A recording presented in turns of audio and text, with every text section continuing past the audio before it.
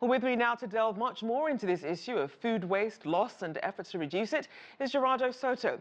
He's founder and managing director of Food Waste Experts and joins us now from New York. Welcome to the show. Thank you, Rachel. How are you? Good, thank you.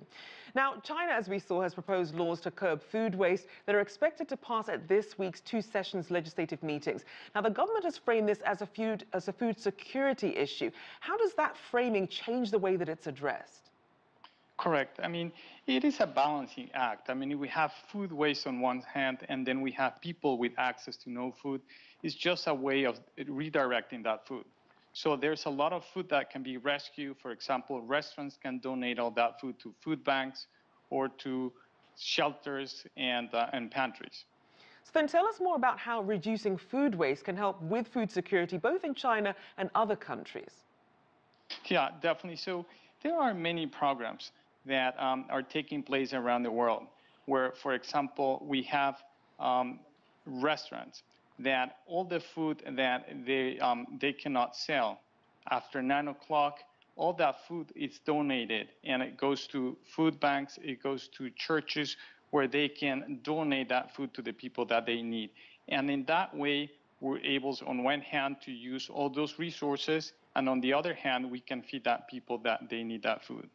So then for people who aren't familiar, give us some context. Just how large is this issue of food waste in the world and what is it costing us as a society?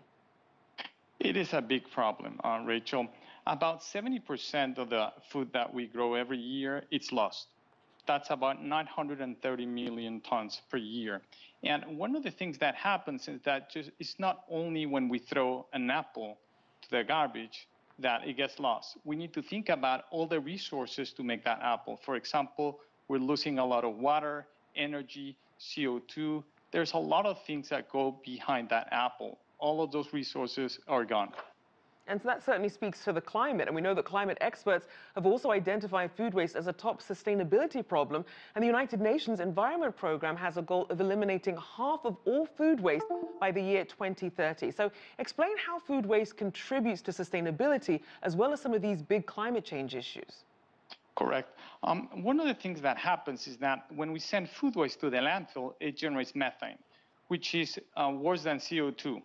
The other thing that happens is all of that food waste converts into water that is leachate and then contaminates the water streams. So it is a lot of damage that happens when we're sending that food waste, I mean, to the landfill. So then, is food waste mainly a problem that's found in wealthier countries or developing countries, or really it just depends on where the food is produced? That's a great question. I mean, one of the things that was just released on that uh, United Nations uh, report is that the average per capita waste is 180 pounds per year. That's about uh, two thirds um, of a pound. And to put that in perspective, we're basically throwing away two bananas every single day. That's a lot of food that we're throwing away. And what we've seen is that it is the similar figure between low income and high income countries. So it is across the board. So then, since this is across the board then, what behaviors or systems really tend to be the biggest contributors to the food waste issue? There are many things, I mean, behind, I mean, um, the food waste problem. One of the things that happens is that the major contributor to the food waste problem is uh, the households. So we're really wasting a lot of food waste at our homes. So there are many things that we can help with in order to, to minimize that food waste. For example, we can use all of the food that we have on hand, just be creative like chefs, rather than go to the store and buy more food.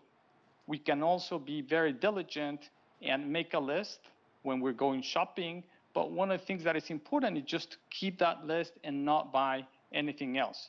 Leftovers. Leftovers is something that in many countries we just throw them away we can eat those leftovers. We can create other food with those leftovers. So there are many things that we can contribute. I think that's one of the positive things that we as a society, we can contribute a lot to this problem.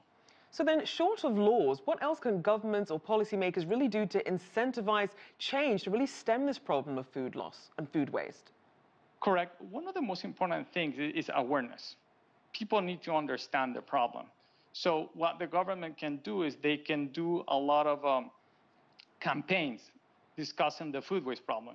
And in that way, people can understand what are the alternatives, what are the things that they can work on. And one of the things that we've seen in some countries around the world is that these campaigns, they do really work because people start thinking, getting more conscious about when they're throwing food away. And just quickly, would you say the pandemic has improved or exacerbated existing food waste and food loss issues? Pandemic has really impacted, I mean, in, in many ways.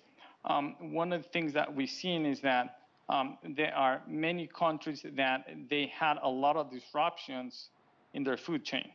And that really has impacted the way the food moves from one country to another country. And that really is going to impact a lot in the future if we don't really take care about um, what we do with our food.